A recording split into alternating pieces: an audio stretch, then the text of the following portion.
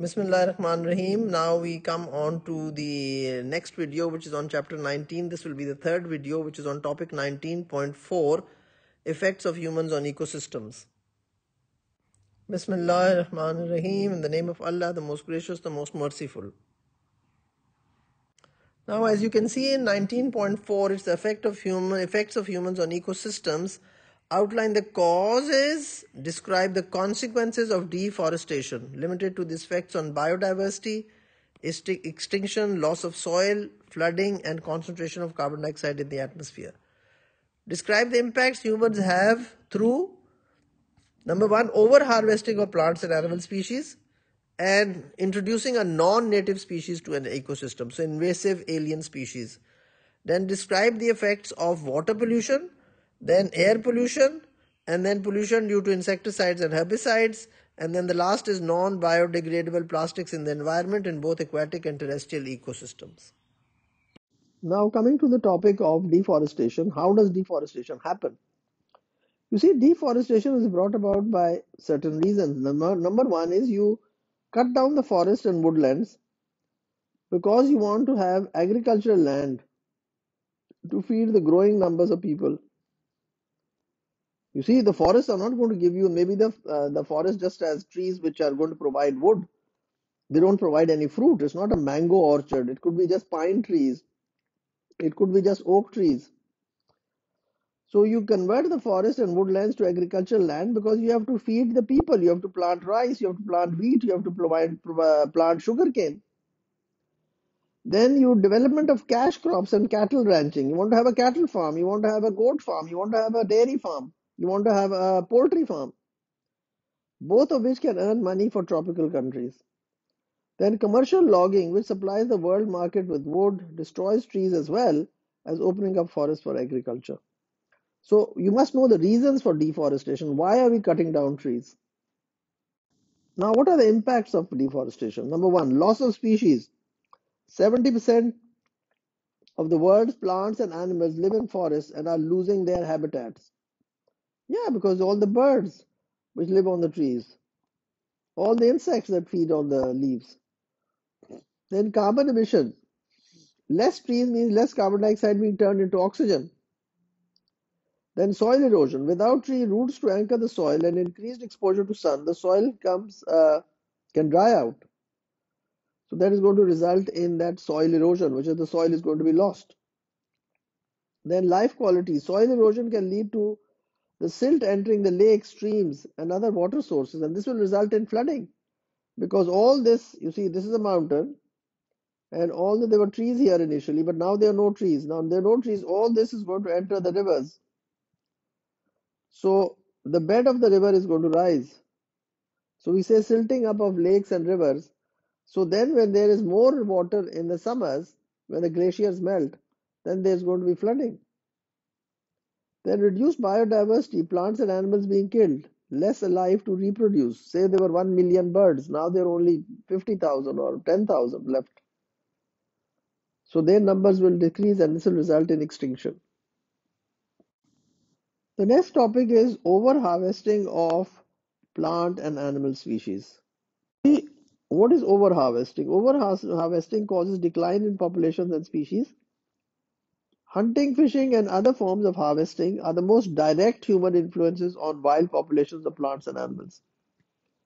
Most species can be harvested to some degree, but a species is over-harvested when individuals are removed at a rate faster than the population can replace them. In the extreme, over-harvesting of a species can cause extinction. In overexploitation, we see some protected species are killed for their valuable parts or are sold live to collectors. Then killing predators and pests that bother us or cause economic losses threaten some species with premature extinction. Then legal and illegal trade in wildlife species used as pets or for decorative purposes threaten some species with extinction. Now, what are the main factors for overharvesting is modern technology, introduction to automatic weaponry. Deforestation opens up the rainforests to bushmeat. Now, what is bushmeat? I'm going to just tell you about that. Hunters providing easy access and transportation. Rise in populations. Too many people and not enough food to feed them all. The traditional ways lost. In Africa, the traditional ways weren't harmful to the ecosystem and animals in it. Now, the current patterns of global endangerment is, or at the other end of the economic spectrum, billions live in poverty. Dollars one per day, dollars two per day. As a result, unsustainable levels of burning, small scale agriculture, grazing, and bushmeat hunting occur wherever these practices help people to survive. You see, it's the poor people, they need to survive. So if they can catch an alligator and sell the meat, well, then that's what they'll do. If they can catch a monkey and sell the monkey, well, that's what they will do. So bushmeat trade is killing very, very large number of animals. Now, what is bushmeat? Bushmeat is a catch-all phrase for meat of wild animals, but it most often refers to the remains of animals killed in the forest and savannas of Africa. African people have long hunted bats, monkeys, rats, snakes, and other, other wild animals for sustenance. Smoked, dried, or cooked, the most provide a valuable source of protein for people in rural communities where farming domesticated animals is too expensive or impractical. Hunting and selling bush meat can also serve as an important source of income. But the scale of hunting is far greater today and has been increasing, facilitated by road building in the forest for logging and mining operations, and fueled by growing demand in urban markets, where comparatively well off customers considered wild source protein a de- delicacy and a status symbol. A small international market for exotic meat thrives in Europe and the United States. As hunting becomes more widespread, risk to the environment and public health becomes grave. Now, here you can see some of the figures. Cameroon generates a total of 97 million yearly of bushmeat, trade with thousands of tons sold in the capital. Close to 100% of mammal hunting is done unsustainably in the Central African Republic. A high proportion of endangered primates are threatened by bushmeat hunting in the Democratic Republic of the Congo, which is home to the largest remaining populations. So it's all very sad that you know so many of the animals are being just for trade, for uh, money, and there is nobody thinking of uh, the the fact that they're going to slowly become extinct. The next topic is introducing a non-native species to an ecosystem. Now, these are also called invasive species or introduction of uh, alien species. So, sometimes called non-native species, alien species, or exotic species are species that migrate into an ecosystem or are deliberately or accidentally introduced into an ecosystem by humans. Bioinvasion, introduction of species by direct or indirect human actions to areas where they did not previously exist. Now, this is a very good slide which shows you how uh, native species are the one in blue, right? And then when you introduce an invasive species which are in red, now you see in year 5 how the reds have increased and then year 10 now the reds have increased and the blue the blue ones the native species have become extinct. So this is what is going to happen when you have native species and invasive species. The native species were all in blue and then we introduced 5 of the invasive species. 4 of the invasive species and now by year 5 the 4 have increased to 1, 2, 3, 4, 5, 6, 7, 8, 9, 10, 12. And now here in year 10 now there's only the invasive species and less of the native species.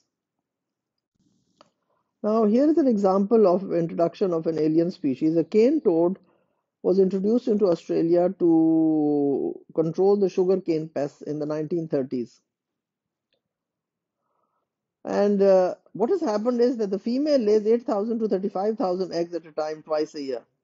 The eggs hatch in 48 to 78 or 72 hours and sexual maturity by 18 months and lifespan around 5 years.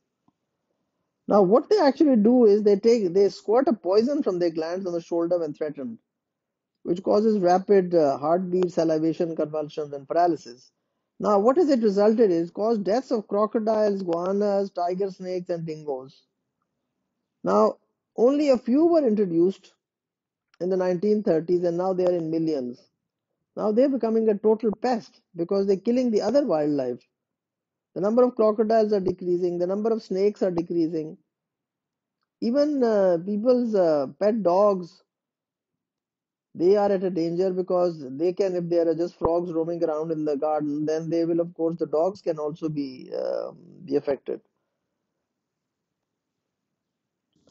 Now it's very interesting to see how in the 1940 where they were The area where they were found was only very few. And then in the 1960s, you see how they're spreading. And then 1975, now what has happened? 1980. Now this is where all the toads are now found. And so they are spreading very, very rapidly. And they do not have any natural predators who are going to eat them. Plus, their reproduction rate is very fast. Now, this is the trouble with this is the reducing new alien species and cause a lot of harm to the native species.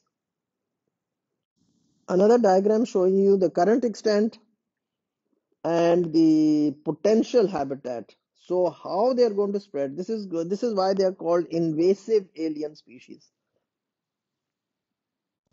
Uh, next topic is water pollution by untreated sewage and nitrogen containing fertilizers which results in eutrophication. Now this is a very nice diagram showing you first how and first what happens. First the fertilizer is spread on the land. Then it gets washed away by rain and absorbed into the soil. Then the fertilizer is transported to a lake by an underground river. The fertilizer causes overgrowth of aquatic plants and algae in the lake. This means that the sunlight cannot reach the bottom of the lake, so the algae dies. The bacteria decompose the algae, taking up all the oxygen, making the lake anoxic, and this causes other organisms in the lake to die. So, first of all, the fertilizer. This is all the fertilizer being applied to crops. Then the fertilizer being washed by rain into ponds and lakes. And then the fertilizer, which is nitrates, causing increased growth of algae. Algae is microscopic uh, plants, and they will cover the surface of this pond or this lake. So this is all that covering it. And this means that the sunlight cannot reach the bottom of the lake, and also some of the algae starts to die. And this algae goes and falls to the bottom of the pond. Now, there are, say, 1 million bacteria in the pond. Now, there will be 2 million bacteria in the pond. So, the bacteria are going to grow, increase. That is called biochemical oxygen demand, BOD. So, as the bacteria increase, they respire and use up the existing oxygen in the water. So, when the oxygen decreases, the other plants are going to start to die. The fish are going to die. So, this is how eutrophication takes place. Another diagram explaining this in a little simpler manner, if for some of you it becomes difficult. Uh, number one, there is nutrient load up. Excessive nutrients from fertilizers are flushed from the land into rivers or lakes by rainwater. Number two, plants flourish. These pollutants cause aquatic plant growth of algae, duckweed, and other plants. Because you see, nitrate acts as a fertilizer. More the nitrate, more the roots take in nitrates, more proteins can be made. So there's going to be more growth. Number three, algal blooms, oxygen is depleted. Algal blooms preventing sunlight reaching other plants. The plants die and oxygen in the water is depleted. Number four, decomposition further depletes oxygen. Dead plants are broken down by bacteria, decomposes, using up even more oxygen. So basically, the number of bacteria increase. The number of bacteria increase. So the number of bacteria are going to be in millions now. First they were say 2 million. Now there'll be 20 million. So number of bacteria increase. Number five is death of the ecosystem. Oxygen levels reach a point where no life is possible. Fish and other organisms die.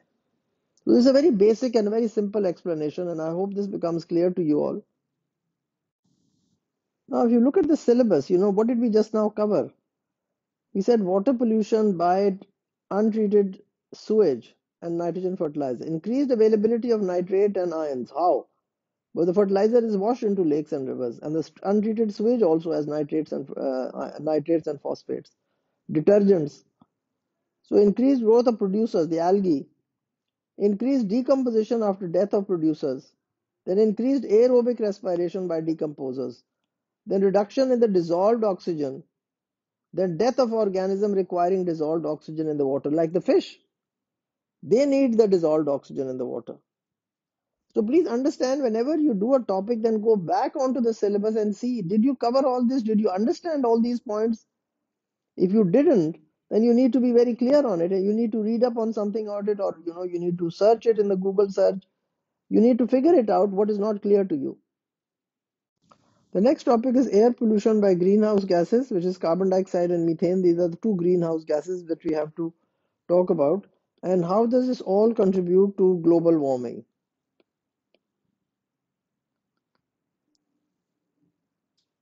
Now, first, let's understand the whole concept of greenhouse gases.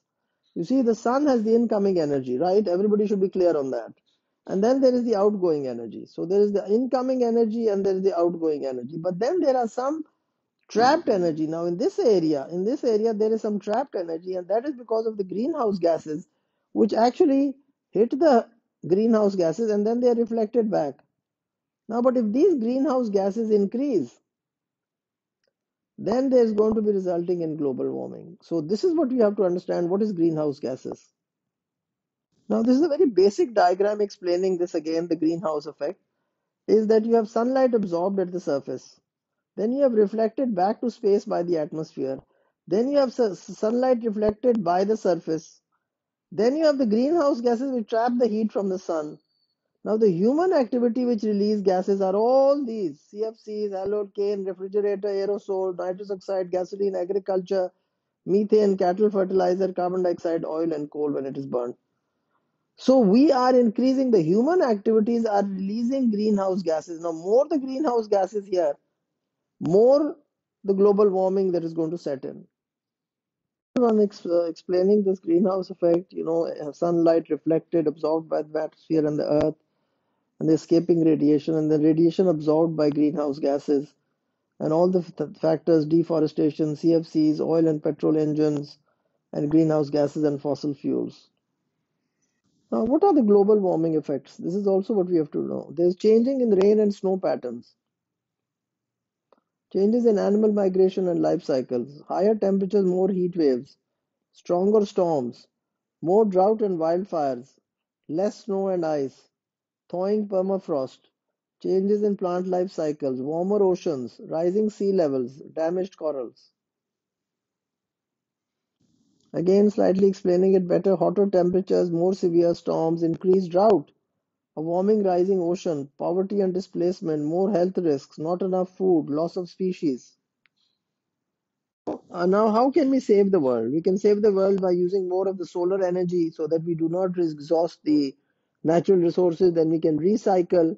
Then we can waste segregation management. Then we can plant a tree. We can use a bike instead of going in a car. Do not burn and do not cut trees. Now, the next topic is pollution due to insecticides and herbicides. Now, we're going to talk about insecticides and herbicides, which is a sort of a, like a pesticides. Pests are which harm the normal uh, crops which we grow, like we are growing a wheat crop, so we don't want any other herbs growing, any other weeds growing, so that's we use a herbicide. Then insecticide, we don't want caterpillars eating the leaves, so we'll use an insecticide.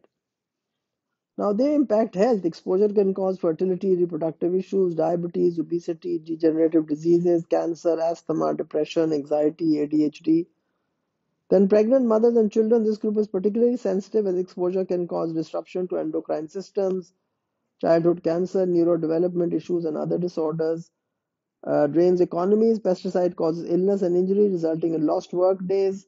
Exploitative markets keep farmers on the pesticide treadmill. Crops develop resistant and incorrect use affects the yields. Then decrease in biodiversity, pesticides have been linked to declines in bees and pollinators, beneficial insects, birds, mammals, aquatic animals, and non-target plants, etc. We don't want to target, we only want to target the caterpillars, but we are killing the other insects as well, which are not actually harming us. Then impacts on water, soil and air, runoff contaminates surface and groundwater, soil microorganisms and earthworms are poisoned, affecting soil fertility and drift and volatilization, uh, contaminates air, rain, fog and snow. Now it is linked to suicide, uh, monopolization of agriculture systems and corruption science. So this is all resulting in a lot of problems by the use of these pesticides. There's a word that we use biological magnification. Now, uh, you have to understand this. The DDT, whenever there's a chemical which we use as an insecticide, DDT in water is 0.000003 parts per million. ppm is parts per million. Now, in zooplanktons, which is the microscopic animals, it is 0.04. But in the small fish, it is 0.5 parts per million. Then in the large fish, it is 2 parts per million. And then in the fish eating birds, it's 25 parts per million. Now, this is called biomagnification. So the DDT concentration increases about 10 million times. When you spray it on the uh, on the crops, then it is washed into waters, into ponds and lakes. So it's in a very dilute amount. It's only very, very little, 0.0000003 parts per million.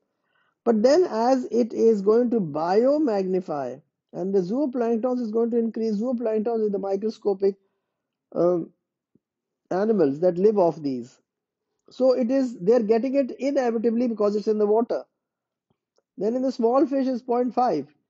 Then in the large fish it is 2 parts per million. And in the fish eating birds of prey it is 25 parts per million. Then pesticides have a lot of effect on health. Uh, they cause cardiac failure, lung cancer, hepatic necrosis, ovarian cancers, musculoskeletal diseases.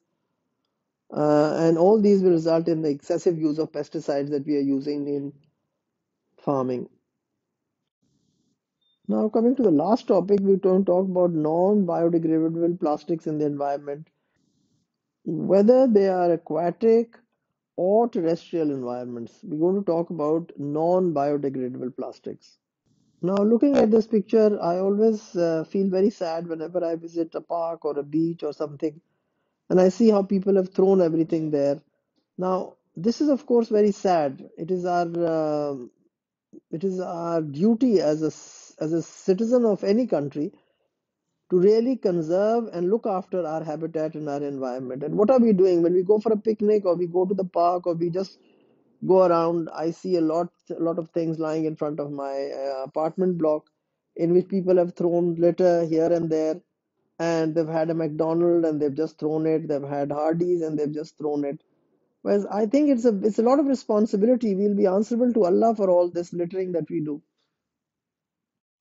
Now, what is biodegradable versus non-biodegradable? You see, biodegradable are of vegetables and fruit, and there's paper and there's wood, and non-biodegradable are the plastic bags, the glass bottle, and the cans, which cannot be decomposed by bacteria and fungi. So, fruits, hair, papers uh, are biodegradable. Non-biodegradable plastic bags, hardware, bottles, what can happen to biodegradable waste? It can break down into natural components, exist for a short time, it can be recycled, old vegetables, paper, cardboard. It cannot break down into natural components. Non biodegradable are bad. It exists for a long time, cannot be recycled. For example, tires, plastics, metal, etc. Now, what do non biodegradable plastics do? They more load on the carbon budget. It causes air pollution when you burn them, then landfilling, incineration, recycling, then fossil fuel based, rapid depleting the fossil resources, then results in land and water pollution. But if you use biodegradable uh, plastics, then less load on the carbon budget. Biodegradation, uh, the key feature, composting, biochemical monomer recovery, and renewable uh, resources based. Every year, nearly 1.1 million birds and animals are being killed by plastic. It is illegal to use plastic in a few parts of the world. 2 million plastic bags are used every day worldwide. There are a few types of plastic that are not recyclable. More than 5 trillion pieces of plastic are floating in the oceans.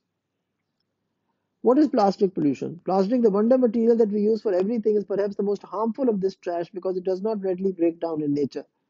In fact, the plastic that goes over the side today may still be around in hundreds of years to foul up the fishing gear, boat propellers, and beaches of future generations. Not to mention what it will do to countless generations of marine life and seabirds that eat it or get tangled up in it. Now, this is the third video on chapter 19. And thank you for watching. Thank you for subscribing. And wish you all the very best in your exams and in the in the coming year. Wish you all the best in the new year and wish you all the best in the exam which you will take in May, June uh, in 2023.